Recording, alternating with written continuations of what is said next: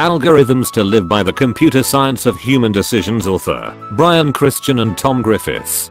To explore slash exploit the latest versus the greatest. Your stomach rumbles. Do you go to the Italian restaurant that you know and love or the new Thai place that just opened up? Do you take your best friend or reach out to a new acquaintance you'd like to get to know better? This is too hard maybe you'll just stay home.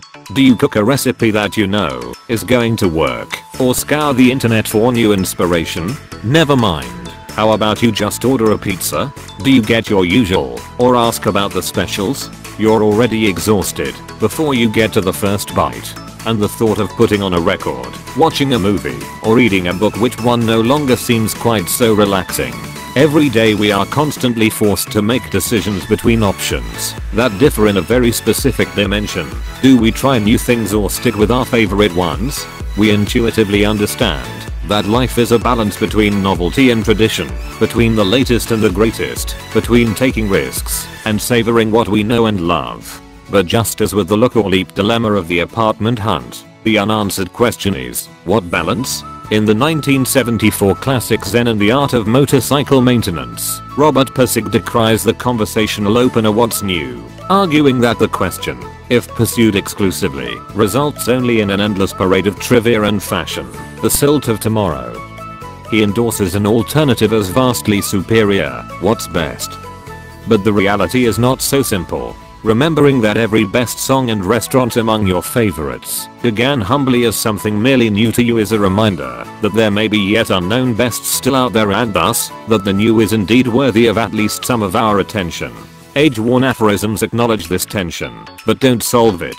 Make new friends, but keep the old those are silver, these are gold, and there is no life so rich and rare, but one more friend could enter there are true enough. Certainly their scansion is unimpeachable, but they fail to tell us anything useful about the ratio of, say, silver and gold that makes the best alloy of a life well lived. Computer scientists have been working on finding this balance for more than 50 years. They even have a name for it, the explore slash exploit trade-off. Explore slash exploit. In English, the words explore and exploit come loaded with completely opposite connotations. But to a computer scientist, these words have much more specific and neutral meanings. Simply put, exploration is gathering information, and exploitation is using the information you have to get an own good result. It's fairly intuitive that never exploring is no way to live. But it's also worth mentioning that never exploiting can be every bit as bad. In the computer science definition, exploitation actually comes to characterize many of what we consider to be life's best moments. A family gathering together on the holidays is exploitation. So is a bookworm settling into a reading chair with a hot cup of coffee and a beloved favorite, or a band playing their greatest hits to a crowd of adoring fans, or a couple that has stood the test of time dancing to their song. What's more, exploration can be a curse. Part of what's nice about music, for instance, is that there are constantly new things to listen to. Or, if you're a music journalist, part of what's terrible about music is that there are constantly new things to listen to. Being a music journalist means turning the exploration dial all the way to 11, where it's nothing but new things all the time. Music lovers might imagine working in music journalism to be paradise, but when you constantly have to explore the new you can never enjoy the fruits of your connoisseurship a particular kind of hell. Few people know this experience as deeply as Scott Plagenhoef, the former editor-in-chief of Pitchfork. You try to find spaces when you're working to listen to something that you just want to listen to, he says of a critic's life. His desperate urges to stop wading through unheard tunes of dubious quality and just listen to what he loved were so strong that Plagenhoef would put only new music on his iPod to make himself physically incapable of abandoning his duties in those moments when he just really really really wanted to listen to the Smiths. Journalists are martyrs, exploring so that others may exploit. In computer science, the tension between exploration and exploitation takes its most concrete form in a scenario called the multi-armed bandit problem. The odd name comes from the colloquial term for a casino slot machine, the one-armed bandit. Imagine walking into a casino full of different slot machines, each one with its own odds of a payoff. The rub, of course, is that you aren't told those odds in advance until you start playing. You won't have any idea which machines are the most lucrative, loosest, as slot machine aficionados call it, and which ones are just money sinks. Naturally, you're interested in maximizing your total winnings. And it's clear that this is going to involve some combination of pulling the arms on different machines to test them out, exploring, and favoring the most promising machines you've found, exploiting. To get a sense for the problem's subtleties, imagine being faced with only two machines. One you've played a total of 15 times. 9 times it paid out, and 6 times it didn't. The other you've played only twice, and it once paid out and once did not. Which is more promising? Simply dividing the wins by the total number of pulls will give you the machine's expected value, and by this method the first machine clearly comes out ahead. Its 9 to 6 record makes for an expected value of 60%, whereas the second machine's 1 to 1 record yields an expected value of only 50%. But there's more to it than that. After all, just 2 pulls aren't really very many, so there's a sense in which we just don't yet know how good the second machine might actually be. Choosing a restaurant or an album is, in effect, a matter of deciding which arm to pull in life's casino.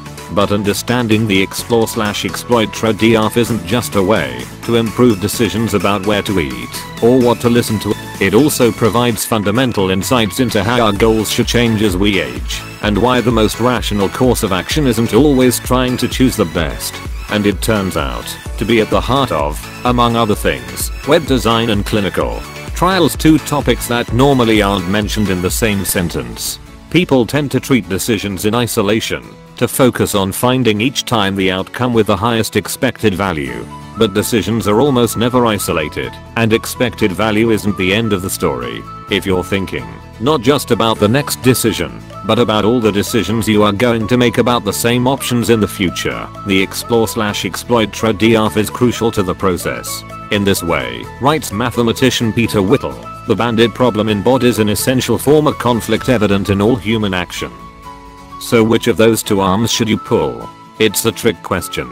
It completely depends on something we haven't discussed yet, how long you plan to be in the casino. Seize the interval.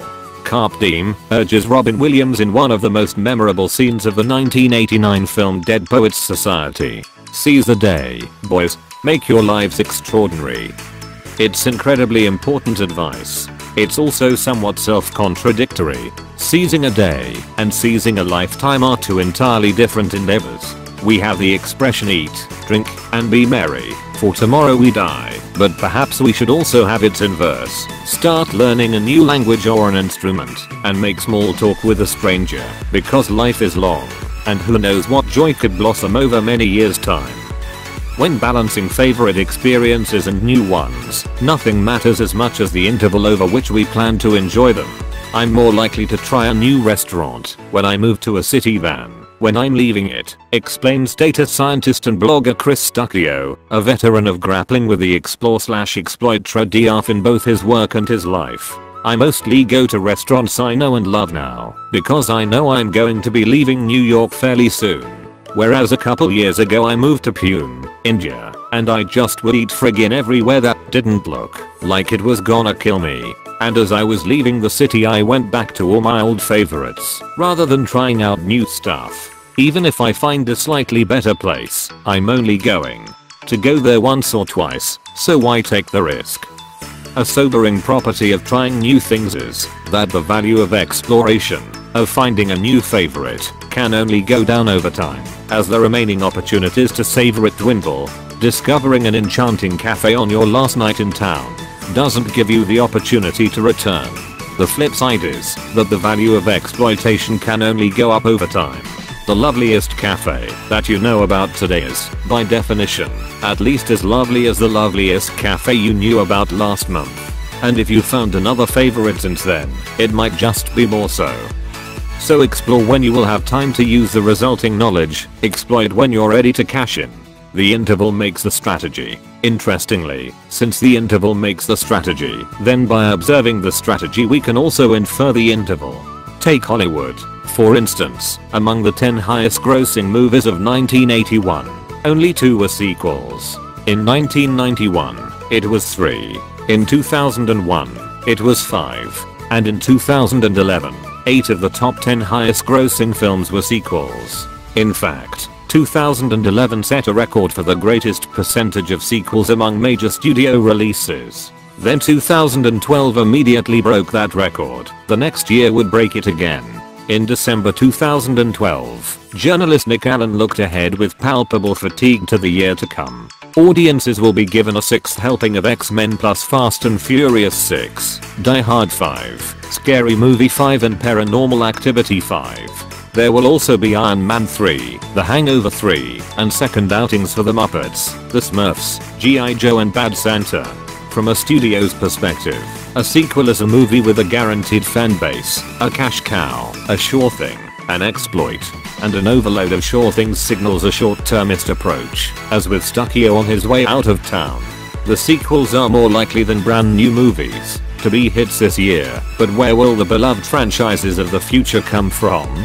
Such a sequel deluge is not only lamentable, certainly critics think so, it's also somewhat poignant. By entering an almost purely exploit-focused phase, the film industry seems to be signaling a belief that it is near the end of its interval. A look into the economics of Hollywood confirms this hunch. Profits of the largest film studios declined by 40% between 2007 and 2011, and ticket sales have declined in 7 of the past 10 years. As The Economist puts it, squeezed between rising costs and falling revenues, the big studios have responded by trying to make more films they think will be hits, usually sequels, prequels, or anything featuring characters with name recognition. In other words, they're pulling the arms of the best machines they've got before the casino turns them out.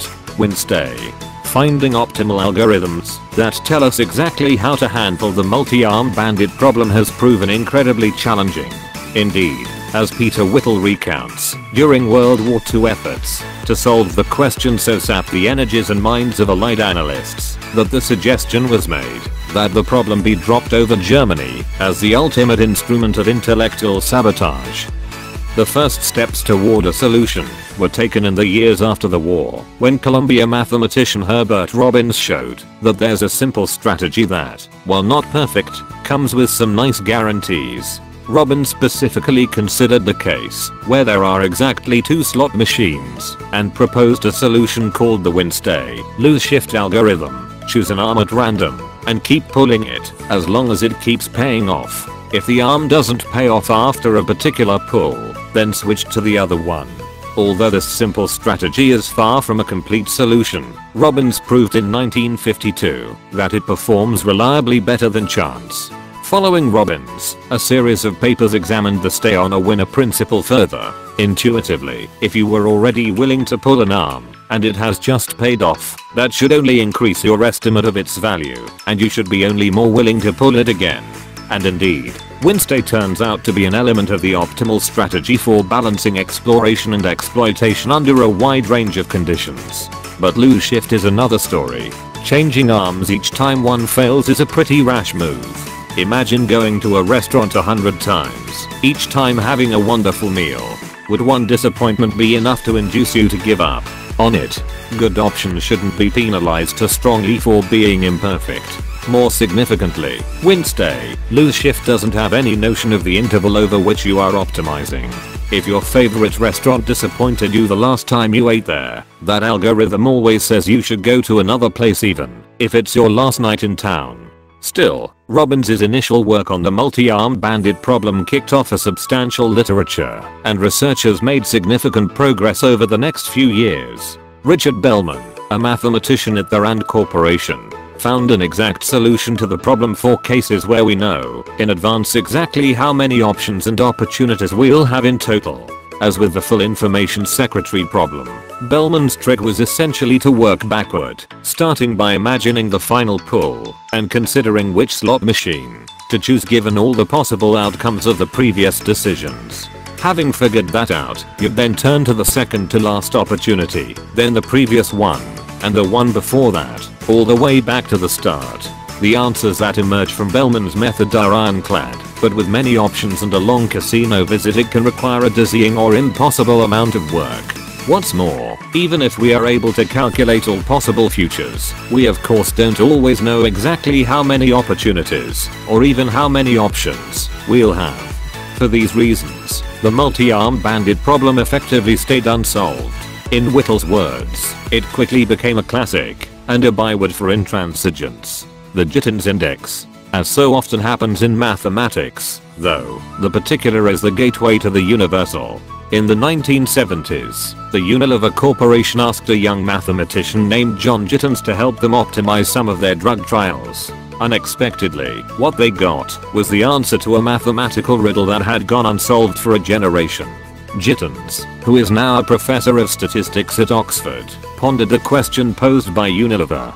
Given several different chemical compounds, what is the quickest way to determine which compound is likely to be effective against a disease? Gittins tried to cast the problem in the most general form he could, multiple options to pursue, a different probability of reward for each option, and a certain amount of effort, or money, or time, to be allocated among them. It was, of course, another incarnation of the multi-armed bandit problem. Both the for-profit drug companies and the medical profession they serve are constantly faced with the competing demands of the explore-slash-exploit trade-off Companies want to invest R&D money into the discovery of new drugs, but also want to make sure their profitable current product lines are flourishing. Doctors want to prescribe the best existing treatments so that patients get the care they need, but also want to encourage experimental studies that may turn up even better ones. In both cases, notably, it's not entirely clear what the relevant interval ought to be. In a sense, drug companies and doctors alike are interested in the indefinite future. Companies want to be around theoretically forever, and on the medical side a breakthrough could go on to help people who haven't even been born yet. Nonetheless, the present has a higher priority. A cured patient today is taken to be more valuable than one cured a week or a year from now, and certainly the same holds true of profits. Economists refer to this idea of valuing the present more highly than the future as discounting. Unlike previous researchers, Gittins approached the multi-armed bandit problem in those terms. He conceived the goal as maximizing payoffs, not for a fixed interval of time, but for a future that is endless yet discounted. Such discounting is not unfamiliar to us from our own lives. After all, if you visit a town for a 10 day vacation, then you should be making your restaurant decisions with a fixed interval in mind. But if you live in the town, this doesn't make as much sense. Instead, you might imagine the value of payoffs decreasing the further into the future they are. You care more about the meal you're going to eat tonight than the meal you're going to eat tomorrow, and more about tomorrow's meal than one a year from now, with the specifics of how much more depending on your particular discount function. Gittins, for his part, made the assumption that the value assigned to payoffs decreases geometrically. That is, each restaurant visit you make is worth a constant fraction of the last one. If, let's say, you believe there is a 1% chance you'll get hit by a bus on any given day, then you should value tomorrow's dinner at 99% of the value of tonight's, if only because you might never get to eat it. Working with this geometric discounting assumption, Gittins investigated a strategy that he thought at least would be a pretty good approximation to think about each arm of the multi-arm bandit separately from the others and try to work out the value of that arm on its own. He did this by imagining something rather ingenious, a bribe. In the popular television game show Deal or No Deal, a contestant chooses one of 26 briefcases, which contain prizes ranging from a penny to a million dollars. As the game progresses, a mysterious character called the banker will periodically call in and offer the contestant various sums of money to not open the chosen briefcase. It's up to the contestant to decide at what price they are willing to take a sure thing over the uncertainty of the briefcase prize. Gittins, albeit many years before the first episode of Deal or No Deal aired, realized that the multi-armed bandit problem is no different.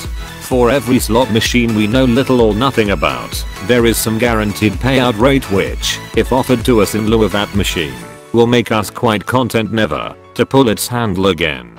This number which Gittins called the Dynamic Allocation Index, and which the world now knows as the Gittins Index suggests an obvious strategy on the casino floor. Always play the arm with the highest index in fact, the index strategy turned out to be more than a good approximation. It completely solves the multi-armed bandit with geometrically discounted payoffs. The tension between exploration and exploitation resolves into the simpler task of maximizing a single quantity that accounts for both. Gittins is modest about the achievement it's not quite Fermat's last theorem, he says with a chuckle but it's a theorem that put to rest a significant set of questions about the explore slash exploit dilemma.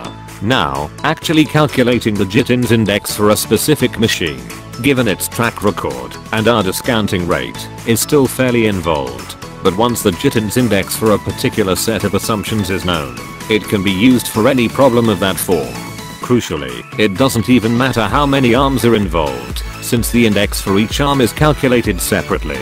In the table on the next page we provide the Gittins index values for up to 9 successes and failures, assuming that a payoff on our next pull is worth 90% of a payoff now. These values can be used to resolve a variety of everyday multi-armed bandit problems. For example, under these assumptions you should, in fact, choose the slot machine that has a track record of 1 to 1 and an expected value of 50% over the one with a track record of 9 to 6 and an expected value of 60%. Looking up the relevant coordinates in the table shows that the lesser known machine has an index of 0.6346 while the more played machine scores only a 0.6300. Problem solved. Try your luck this time and explore. Looking at the Gittins index values in the table, there are a few other interesting observations. First, you can see the Winstay principle at work. As you go from left to right in any row, the index scores always increase. So if an arm is ever the correct one to pull, and that pull is a winner, then, following the chart to the right, it can only make more sense to pull the same arm again. Second, you can see where lose shift would get you into trouble. Having 9 initial wins followed by a loss gets you an index of 0.8695, which is still higher than most of the other values in the table so you should probably stay with that arm for at least another pull. Gittins index values as a function of wins and losses, assuming that a payoff next time is worth 90% of a payoff now.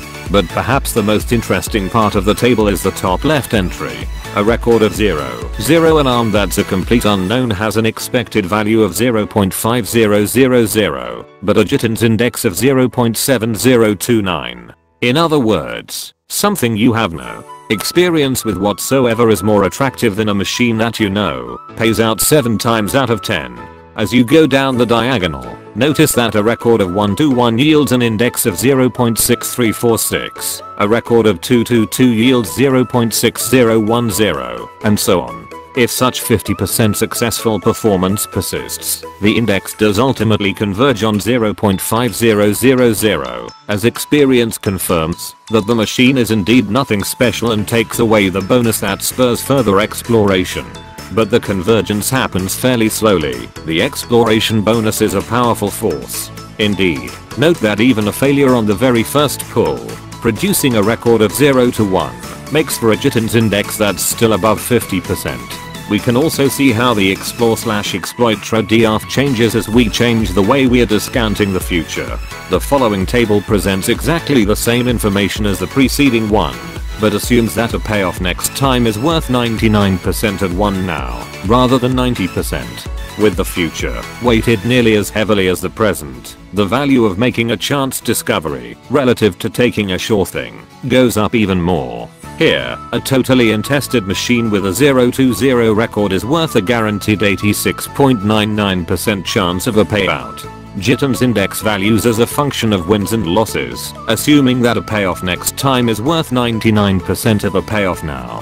The Gittins index, then, provides a formal, rigorous justification for preferring the unknown, provided we have some opportunity to exploit the results of what we learn from exploring. The old adage tells us that the grass is always greener on the other side of the fence, but the math tells us why the unknown has a chance of being better, even if we actually expect it to be no different, or if it's just as likely to be worse. The untested rookie is worth more, early in the season, anyway, than the veteran of seemingly equal ability, precisely because we know less about him. Exploration in itself has value, since trying new things increases our chances of finding the best. So taking the future into account, rather than focusing just on the present, drives us toward novelty. The Gittins Index thus provides an amazingly straightforward solution to the multi-armed bandit problem.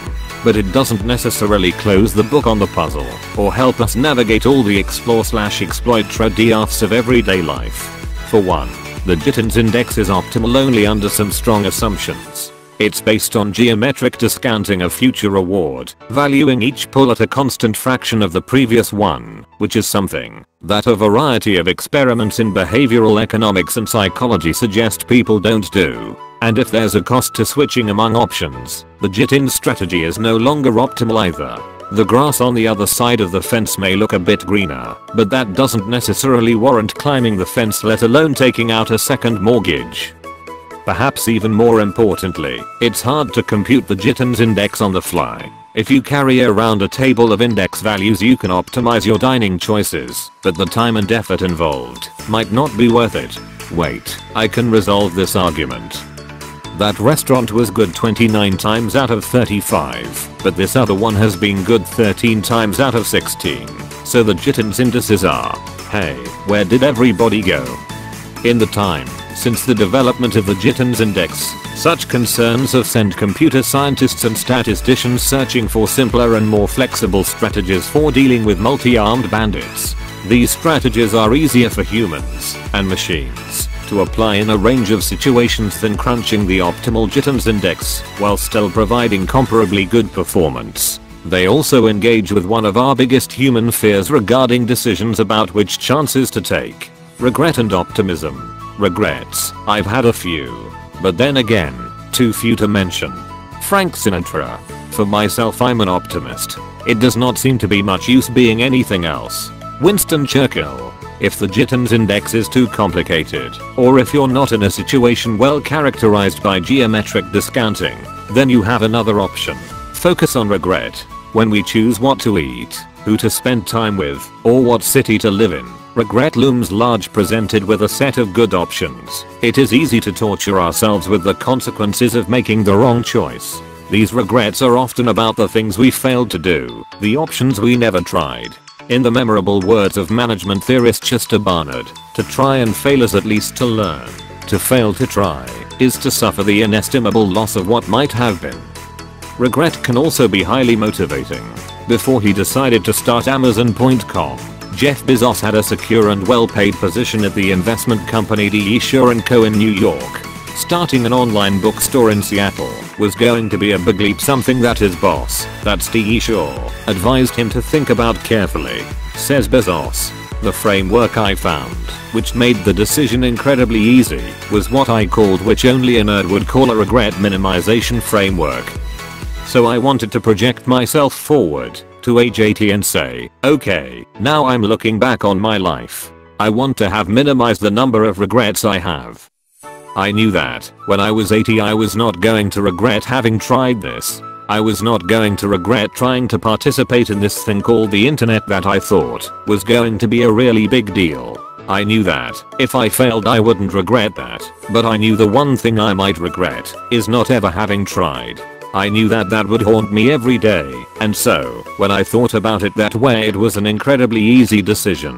Computer science can't offer you a life with no regret, but it can, potentially, offer you just what Bezos was looking for, a life with minimal regret. Regret is the result of comparing what we actually did with what would have been best in hindsight. In a multi-armed bandit, Barnard's inestimable loss can in fact be measured precisely, and regret assigned a number. It's the difference between the total payoff obtained by following a particular strategy and the total payoff that theoretically could have been obtained by just pulling the best arm every single time. Had we only known from the start which one it was, we can calculate this number for different strategies and search for those that minimize it. In 1985, Herbert Robbins took a second shot at the multi-armed bandit problem, some 30 years after his initial work on Winstay, lose shift. He and fellow Columbia mathematician Tze Leung Lai were able to prove several key points about regret. First, assuming you're not omniscient, your total amount of regret will probably never stop increasing. Even if you pick the best possible strategy because even the best strategy isn't perfect every time. Second, regret will increase at a slower rate if you pick the best strategy than if you pick others. What's more, with a good strategy regret's rate of growth will go down over time as you learn more about the problem and are able to make better choices. Third, and most specifically, the minimum possible regret again assuming non-omniscience is regret that increases at a logarithmic rate with every pull of the handle. Logarithmically increasing regret means that we'll make as many mistakes in our first 10 pulls as in the following 90, and as many in our first year as in the rest of the decade combined. The first decade's mistakes, in turn, are as many as we'll make for the rest of the century. That's some measure of consolation. In general we can't realistically expect someday to never have any more regrets. But if we are following a regret minimizing algorithm, every year we can expect to have fewer new regrets than we did the year before. Starting with Lai and Robbins, researchers in recent decades have set about looking for algorithms that offer the guarantee of minimal regret. Of the ones they've discovered, the most popular are known as upper confidence bound algorithms. Visual displays of statistics often include so-called error bars that extend above and below any data point, indicating uncertainty in the measurement. The error bars show the range of plausible values that the quantity being measured could actually have. This range is known as the confidence interval, and as we gain more data about something the confidence interval will shrink, reflecting an increasingly accurate assessment. For instance, a slot machine that has paid out once out of two pulls will have a wider confidence interval, though the same expected value as a machine that has paid out 5 times on 10 pulls. In a multi-armed bandit problem, an upper confidence bound algorithm says, quite simply, to pick the option for which the top of the confidence interval is highest, like the Gittins index. Therefore, upper confidence bound algorithms assign a single number to each arm of the multi-armed bandit and that number is set to the highest value that the arm could reasonably have, based on the information available so far.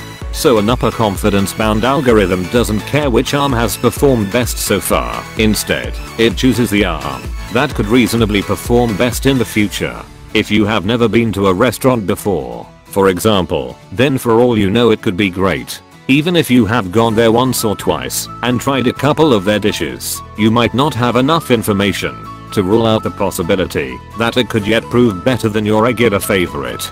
Like the Gittins index, the upper confidence bound is always greater than the expected value, but by less and less as we gain more experience with a particular option.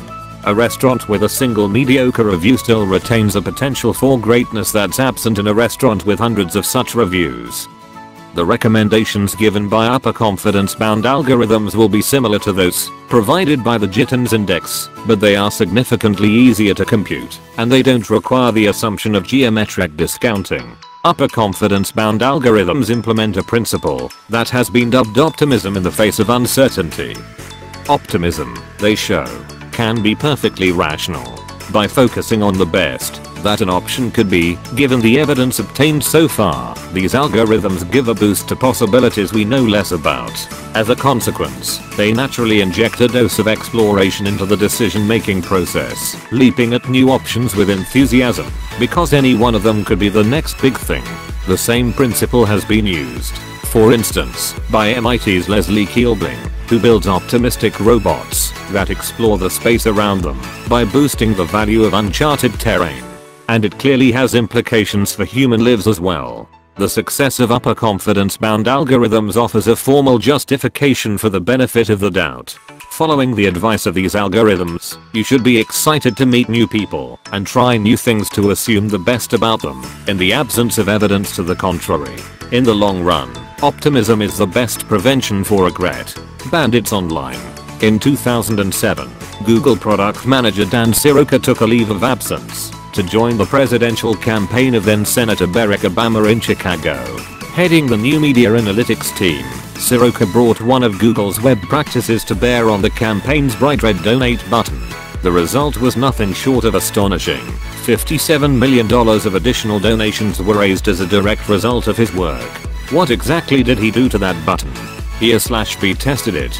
A slash B testing works as follows. A company drafts several different versions of a particular web page. Perhaps they try different colors or images, or different headlines for a news article, or different arrangements of items on the screen. Then they randomly assign incoming users to these various pages, usually in equal numbers. One user may see a red button, while another user may see a blue one. One may see donate, and another may see contribute. The relevant metrics, for instance, click-through rate or average revenue per visitor are then monitored. After a period of time, if statistically significant effects are observed, the winning version is typically locked into place or becomes the control for another round of experiments. In the case of Obama's donation page, Siroker's A/B tests were revealing. For first time visitors to the campaign site, a donate and get a gift button turned out to be the best performer, even after the cost of sending the gifts was taken into account. For long-time newsletter subscribers who had never given money, please donate worked the best, perhaps appealing to their guilt. For visitors who had already donated in the past, contribute worked best at securing follow-up donations the logic being perhaps that the person had already donated but could always contribute more. And in all cases, to the astonishment of the campaign team, a simple black and white photo of the Obama family outperformed any other photo or video the team could come up with. The net effect of all these independent optimizations was gigantic. If you've used the internet basically at all over the past decade, then you've been a part of someone else's explore slash exploit problem. Companies want to discover the things that make them the most money, while simultaneously making as much of it as they can explore, exploit. Big tech firms such as Amazon and Google began carrying out liver-slash-B tests on their users starting in about 2000, and over the following years the internet has become the world's largest controlled experiment. What are these companies exploring and exploiting? In a word, you, whatever it is that makes you move your mouse and open your wallet. Companies slash A/B test their site navigation, the subject lines, and timing of their marketing emails, and sometimes even their actual features and pricing. Instead of the Google search algorithm and the Amazon checkout flow, there are now untold and unfathomably subtle permutations. Google infamously tested 41 shades of blue for one of its toolbars in 2009. In some cases, it's unlikely that any pair of users will have the exact same experience. Data scientist Jeff Hammerbacher, former manager of the data group at Facebook, once told Bloomberg Business Week that the best minds of my generation are thinking about how to make people click ads. Consider it the millennials howl what Allen Ginsberg's immortal I saw the best minds of my generation destroyed by madness was to the beat generation. Hammerbacher's take on the situation was that this state of affairs sucks.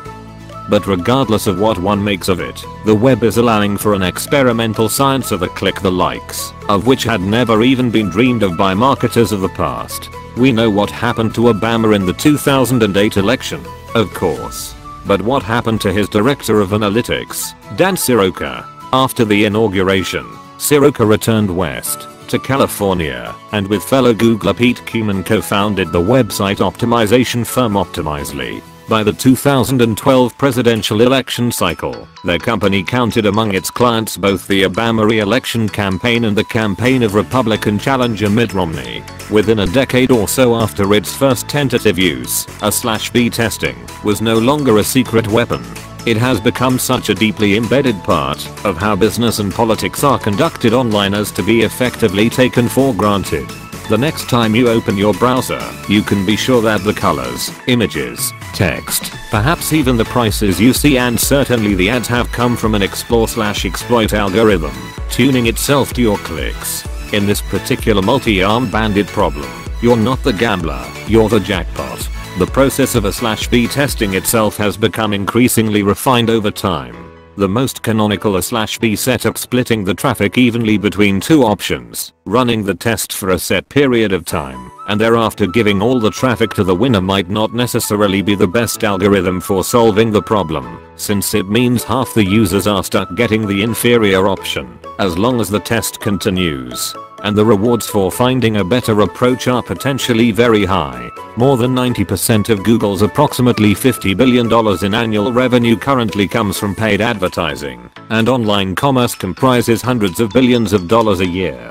This means that explore slash exploit algorithms effectively power, both economically and technologically, a significant fraction of the internet itself. The best algorithms to use remain hotly contested, with rival statisticians, engineers, and bloggers endlessly sparring about the optimal way to balance exploration and exploitation in every possible business scenario. Debating the precise distinctions among various takes on the explore slash exploit problem may seem hopelessly arcane. In fact, these distinctions turn out to matter immensely and it's not just presidential elections and the internet economy that are at stake. It's also human lives. Clinical trials on trial. Between 1932 and 1972, several hundred African American men with syphilis in Macon County, Alabama, went deliberately untreated by medical professionals as part of a 40-year experiment by the US Public Health Service known as the Tuskegee Syphilis Study.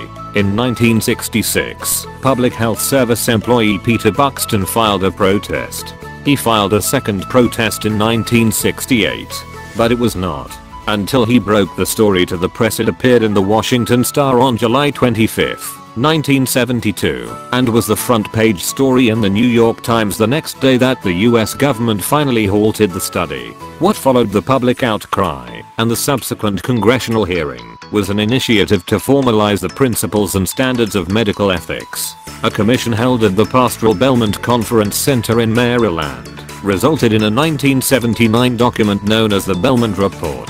The Belmont Report lays out a foundation for the ethical practice of medical experiments, so that the Tuskegee experiment an egregious, unambiguously inappropriate breach of the health profession's duty to its patients might never be repeated. But it also notes the difficulty, in many other cases, of determining exactly where the line should be drawn. The Hippocratic maxim back quote do no harm has long been a fundamental principle of medical ethics, the report points out. The physiologist, Claude Bernard extended it to the realm of research, saying that one should not injure one person regardless of the benefits that might come to others. However, even avoiding harm requires learning what is harmful, and, in the process of obtaining this information, persons may be exposed to risk of harm. The Belmont report thus acknowledges, but does not resolve, the tension that exists between acting on one's best knowledge and gathering more. It also makes it clear that gathering knowledge can be so valuable that some aspects of normal medical ethics can be suspended. Clinical testing of new drugs and treatments, the report notes, often requires risking harm to some patients, even if steps are taken to minimize that risk. The principle of beneficence is not always so unambiguous. A difficult ethical problem remains, for example, about research on childhood diseases that presents more than minimal risk without immediate prospect of direct benefit to the children involved. Some have argued that such research is inadmissible, while others have pointed out that this limit would rule out much research promising great benefit to children in the future. Here again, as with all hard cases, the different claims covered by the principle of beneficence may come into conflict and force difficult choices. One of the fundamental questions that has arisen in the decades since the Belmont report is whether the standard approach to conducting clinical trials really does minimize risk to patients. In a conventional clinical trial, patients are split into groups, and each group is assigned to receive a different treatment for the duration of the study. Only in exceptional cases does a trial get stopped early. This procedure focuses on decisively resolving the question of which treatment is better, rather than on providing the best treatment to each patient in the trial itself. In this way it operates exactly like a website slash v-test, with a certain fraction of people receiving an experience during the experiment that will eventually be proven inferior. But doctors, like tech companies, are gaining some information about which option is better, while the trial precedes information that could be used to improve outcomes not only for future patients beyond the trial, but for the patients currently in it. Millions of dollars are at stake in experiments to find the optimal configuration of a website, but in clinical trials, experimenting to find optimal treatments has direct life or death consequences. And a growing community of doctors and statisticians think that we are doing it wrong, that we should be treating the selection of treatments as a multi-armed bandit problem, and trying to get the better treatments to people, even while an experiment is in progress. In 1969, Marvin Zelen, a biostatistician who is now at Harvard, proposed conducting adaptive trials. One of the ideas he suggested was a randomized play-the-winner algorithm a version of win-stay, lose shift, in which the chance of using a given treatment is increased by each win and decreased by each loss. In Zelen's procedure, you start with a hat that contains one ball for each of the two treatment options being studied. The treatment for the first patient is selected by drawing a ball at random from the hat. The ball is put back afterward. If the chosen treatment is a success, you put another ball for that treatment into the hat now you have 3 balls, 2 of which are for the successful treatment. If it fails, then you put another ball for the other treatment into the hat, making it more likely you'll choose the alternative. Zelen's algorithm was first used in a clinical trial 16 years later for a study of extracorporeal membrane oxygenation, or ECMO an audacious approach to treating respiratory failure in infants. Developed in the 1970s by Robert Bartlett of the University of Michigan, ECMO takes blood that's heading for the lungs and routes it instead out of the body, where it is oxygenated by a machine, and returned to the heart. It is a drastic measure, with risks of its own, including the possibility of embolism, but it offered a possible approach in situations where no other options remained. In 1975 ECMO saved the life of a newborn girl in Orange County, California, for whom even a ventilator was not providing enough oxygen. That girl has now celebrated her 40th birthday and is married with children of her own. But in its early days the ECMO technology and procedure were considered highly experimental and early studies in adults showed no benefit compared to conventional treatments. From 1982 to 1984, Bartlett and his colleagues at the University of Michigan performed a study on newborns with respiratory failure. The team was clear that they wanted to address, as they put it, the ethical issue of withholding an unproven but potentially life-saving treatment, and were reluctant to withhold a life-saving treatment from alternate patients simply to meet conventional random assignment technique. Hence they turned to Zelen's algorithm. The strategy resulted in one infant being assigned the conventional treatment and dying, and 11 infants in a row being assigned the experimental ECMO treatment, all of them surviving. Between April and November of 1984, after the end of the official study, 10 additional infants met the criteria for ECMO treatment. 8 were treated with ECMO, and all 8 survived. 2 were treated conventionally, and both died. These are eye-catching numbers, yet shortly after the University of Michigan study on ECMO was completed it became mired in controversy. Having so few patients in a trial receive the conventional treatment deviated significantly from standard methodology, and the procedure itself was highly invasive and potentially risky. After the publication of the paper, Jim Ware, professor of biostatistics at the Harvard School of Public Health, and his medical colleagues examined the data carefully and concluded that they did not justify routine use of ECMO without further study. So Ware and his colleagues designed a second clinical trial still trying to balance the acquisition of knowledge with the effective treatment of patients, but using a less radical design.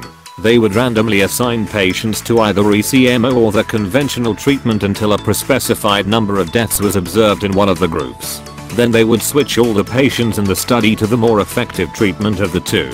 In the first phase of Ware's study, 4 of 10 infants receiving conventional treatment died, and all 9 of 9 infants receiving ECMO survived. The 4 deaths were enough to trigger a transition to the second phase, where all 20 patients were treated with ECMO and 19 survived. And colleagues were convinced, concluding that it is difficult to defend further randomization ethically. But some had already concluded this before the Ware study, and were vocal about it. The critics included Don Berry, one of the world's leading experts on multi-armed bandits, in a comment that was published alongside the Ware study in Statistical Science, Berry wrote that randomizing patients to non-ECMO therapy as in the Ware study was unethical. In my view, the Ware study should not have been conducted. And yet even the Ware study was not conclusive for all in the medical community.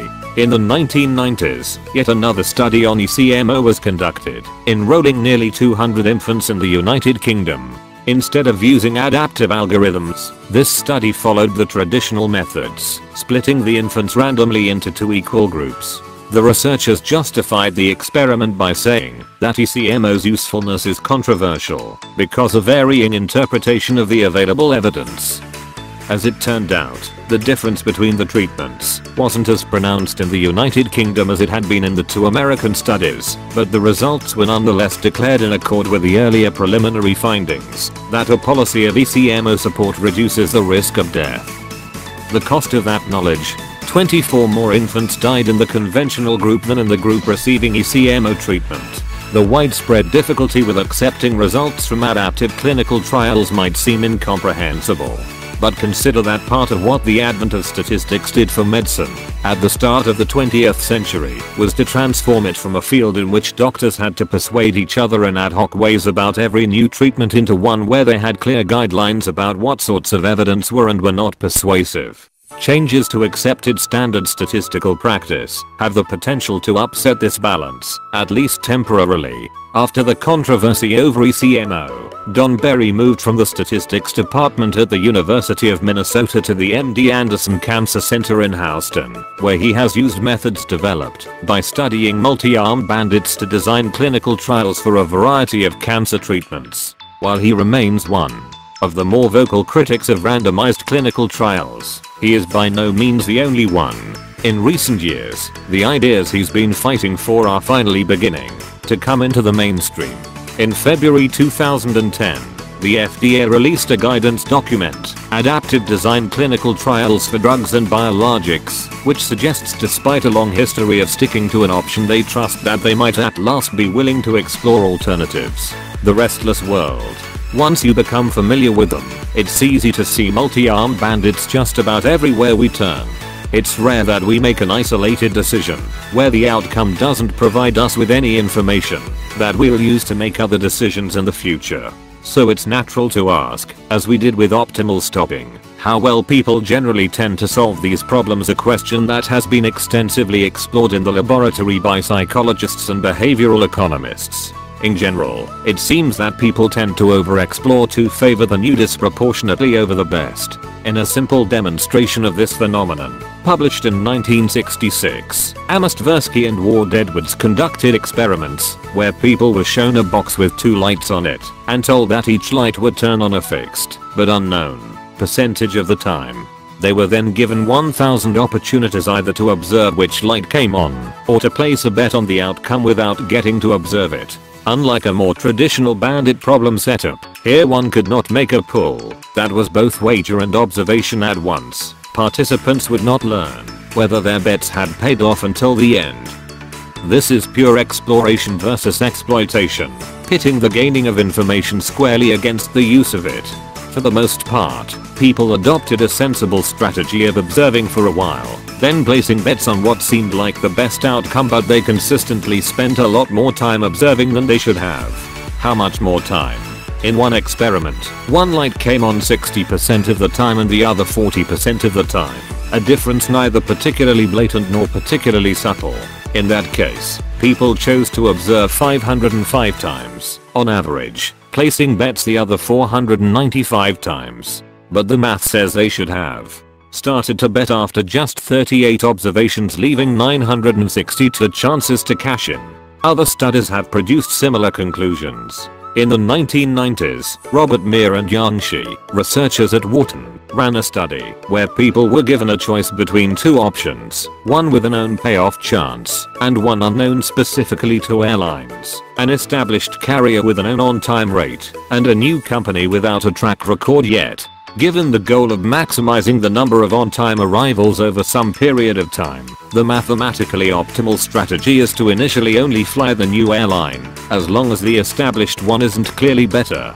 If at any point it's apparent that the well-known carrier is better that is, if the Gittins index of the new option falls below the on-time rate of the familiar carrier then you should switch hard to the familiar one and never look back since in this setup you can't get any more information about the new company once you stop flying it, there is no opportunity for it to redeem itself. But in the experiment, people tended to use the untried airline too little, when it was good and too much, when it was bad. They also didn't make clean breaks away from it, often continuing to alternate, particularly when neither airline was departing on time. All of this is consistent with tending to overexplore. Finally, psychologists Mark Steyvers, Michael Lee, and EJ Wagenmakers have run an experiment with a four-armed bandit, asking a group of people to choose which arm to play over a sequence of 15 opportunities. They then classified the strategies that participants seemed to use the results suggested that 30% were closest to the optimal strategy, 47% most resembled win stay, lose shift, and 22% seemed to move at random between selecting a new arm and playing the best arm found so far. Again, this is consistent with over-exploring as win stay, lose shift and occasionally trying an armored random, are both going to lead people to try things other than the best option late in the game, when they should be purely exploiting. So, while we tend to commit to a new secretary too soon, it seems like we tend to stop trying new airlines too late. But just as there's a cost to not having a secretary, there's a cost to committing too soon to a particular airline. The world might change. The standard multi-armed bandit problem assumes that the probabilities with which the arms pay off are fixed over time. But that's not necessarily true of airlines, restaurants, or other contexts in which people have to make repeated choices. If the probabilities of a payoff on the different arms change over time what has been termed a restless bandit the problem becomes much harder so much harder, in fact, that there's no tractable algorithm for completely solving it, and it's believed there never will be. Part of this difficulty is that it is no longer simply a matter of exploring for a while and then exploiting, when the world can change, continuing to explore can be the right choice. It might be worth going back to that disappointing restaurant you haven't visited for a few years, just in case it's under new management. In his celebrated essay Walking, Henry David Thoreau reflected on how he preferred to do his traveling close to home, how he never tired of his surroundings, and always found something new or surprising in the Massachusetts landscape. There is in fact a sort of harmony discoverable between the capabilities of the landscape within a circle of 10 miles radius, or the limits of an afternoon walk, and the three score years and ten of human life, he wrote. It will never become quite familiar to you, to live in a restless world requires a certain restlessness in oneself. So long as things continue to change, you must never fully cease exploring. Still, the algorithmic techniques honed for the standard version of the multi-armed bandit problem are useful even in a restless world. Strategies like the Gittins index and upper confidence bound provide reasonably good approximate solutions and rules of thumb, particularly if payoffs don't change very much over time and many of the world's payoffs are arguably more static today than they've ever been. A berry patch might be ripe one week and rotten the next, but as Andy Warhol put it, a coke is a coke. Having instincts tuned by evolution for a world in constant flux isn't necessarily helpful in an era of industrial standardization. Perhaps most importantly, thinking about versions of the multi-armed bandit problem that do have optimal solutions doesn't just offer algorithms, it also offers insights. The conceptual vocabulary derived from the classical form of the problem the tension of explore slash exploit, the importance of the interval, the high value of the 0 to 0 option, the minimization of regret gives us a new way of making sense not only of specific problems that come before us, but of the entire arc of human life. Explore. While laboratory studies can be illuminating, the interval of many of the most important problems people face is far too long to be studied in the lab. Learning the structure of the world around us and forming lasting social relationships are both lifelong tasks. So it's instructive to see how the general pattern of early exploration and late exploitation appears over the course of a lifetime. One of the curious things about human beings, which any developmental psychologist aspires to understand and explain, is that we take years to become competent and autonomous. Caribou and gazelles must be prepared to run from predators the day they are born, but humans take more than a year to make their first steps. Alison Gopnik, professor of developmental psychology at UC Berkeley and author of The Scientist in the Crib, has an explanation for why human beings have such an extended period of dependence. It gives you a developmental way of solving the exploration slash exploitation trade-off. As we have seen, Good algorithms for playing multi-armed bandits tend to explore more early on, exploiting the resulting knowledge later. But as Gopnik points out, the disadvantage of that is that you don't get good payoffs when you are in the exploration stage. Hence childhood. Childhood gives you a period in which you can just explore possibilities and you don't have to worry about payoffs because payoffs are being taken care of by the mamas and the papas and the grandmas and the babysitters. Thinking about children as simply being at the transitory exploration stage of a lifelong algorithm might provide some solace for parents of preschoolers. Tom has two highly exploratory preschool age daughters and hopes they are following an algorithm that has minimal regret. But it also provides new insights about the rationality of children. Gopnik points out that, if you look at the history of the way that people have thought about children, They have typically argued that children are cognitively deficient in various ways because, if you look at their exploit, they look terrible. They can't tie their shoes. They are not good at long-term planning. They are not good at focused attention. Those are all things that kids are really awful at. But pressing buttons at random, being very interested in new toys, and jumping quickly from one thing to another are all things that kids are really great at.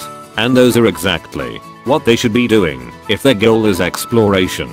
If you're a baby, putting every object in the house into your mouth is like studiously pulling all the handles at the casino. More generally, our intuitions about rationality are too often informed by exploitation rather than exploration. When we talk about decision making, we usually focus just on the immediate payoff of a single decision and if you treat every decision as if it were your last, then indeed only exploitation makes sense. But over a lifetime, you're going to make a lot of decisions and it's actually rational to emphasize exploration the new, rather than the best, the exciting rather than the safe, the random rather than the considered for many of those choices, particularly earlier in life. What we take to be the caprice of children may be wiser than we know, and exploit. I had reached a juncture in my reading life that is familiar to those who have been there in the allotted time left to me on earth. Should I read more and more new books, or should I cease with that vain consumption vain? because it is endless and begin to reread those books that had given me the intense pleasure in my past. Lydia Davis. At the other extreme from toddlers we have the elderly, and thinking about aging from the perspective of the explore slash exploit dilemma also provides some surprising insights into how we should expect our lives to change as time goes on. Laura Carstensen, a professor of psychology at Stanford, has spent her career challenging our preconceptions about getting older. Particularly, she has investigated exactly how and why people's social relationships change as they age. The basic pattern is clear. The size of people's social networks, that is, the number of social relationships they engage in, almost invariably decreases over time but Carstensen's research has transformed how we should think about this phenomenon. The traditional explanation for the elderly having smaller social networks is that it's just one example of the decreasing quality of life that comes with aging the result of diminished ability to contribute to social relationships, greater fragility, and general disengagement from society. But Carstensen has argued that, in fact, the elderly have fewer social relationships by choice as she puts it, these decreases are the result of lifelong selection processes by which people strategically and adaptively cultivate their social networks to maximize social and emotional gains and minimize social and emotional risks. What Carstensen and her colleagues found is that the shrinking of social networks with aging is due primarily to pruning peripheral relationships and focusing attention instead on a core of close friends and family members this process seems to be a deliberate choice. As people approach the end of their lives, they want to focus more on the connections that are the most meaningful. In an experiment testing this hypothesis, Carstensen and her collaborator Barbara Fredrickson asked people to choose who they'd rather spend 30 minutes with, an immediate family member, the author of a book they'd recently read, or somebody they had met recently who seemed to share their interests. Older people preferred the family member, young people were just as excited to meet the author or make a new friend. But in a critical twist, if the young people were asked to imagine that they were about to move across the country, they preferred the family member too. In another study, Carstensen and her colleagues found the same result in the other direction as well. If older people were asked to imagine that a medical breakthrough would allow them to live 20 years longer, their preferences became indistinguishable from those of young people. The point is that these differences in social preference are not about age as such they are about where people perceive themselves to be on the interval relevant to their decision. Being sensitive to how much time you have left is exactly what the computer science of the explore slash exploit dilemma suggests. We think of the young stereotypically fickle, the old stereotypically set in their ways. In fact, both are behaving completely appropriately with respect to their intervals. The deliberate honing of a social network down to the most meaningful relationships is a rational response to having less time to enjoy them. Recognizing that old age is a time of exploitation helps provide new perspectives on some of the classic phenomena of aging. For example, while going to college a new social environment filled with people you haven't met is typically a positive exciting time. Going to a retirement home a new social environment filled with people you haven't met can be painful. And that difference is partly the result of where we are on the explore slash exploit continuum of those stages of our lives. The explore slash exploit trade-off also tells us how to think about advice from our elders. When your grandfather tells you which restaurants are good, you should listen these are pearls gleaned from decades of searching. But when he only goes to the same restaurant at 5pm every day, you should feel free to explore other options, even though they'll likely be worse. Perhaps the deepest insight that comes from thinking about later life as a chance to exploit knowledge acquired over decades is this. Life should get better over time. What an explorer trades off for knowledge is pleasure. The Gittins index and the upper confidence bound, as we've seen, inflate the appeal of lesser known options beyond what we actually expect, since pleasant surprises can pay off many times over. But at the same time, this means that exploration necessarily leads to being let down on most occasions. Shifting the bulk of one's attention to one's favorite things should increase quality of life. And it seems like it does. Carstensen has found that older people are generally more satisfied with their social networks and often report levels of emotional well-being that are higher than those of younger adults. So there's a lot to look forward to in being that late afternoon restaurant regular, savoring the fruits of a life's explorations. If you enjoyed this audiobook and want to hear again be sure to click that subscribe button and click also the notification bell to switch between getting all notifications and like and share. Leave your comment and suggestion below. Thanks for watching.